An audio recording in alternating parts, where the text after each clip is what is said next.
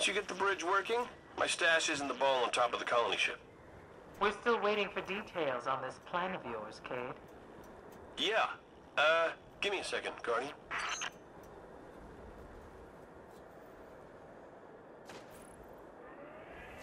All right, back in business.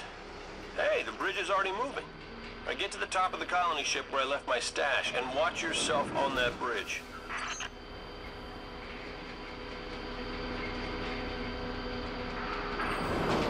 Any advice on which way to go? Yeah, up.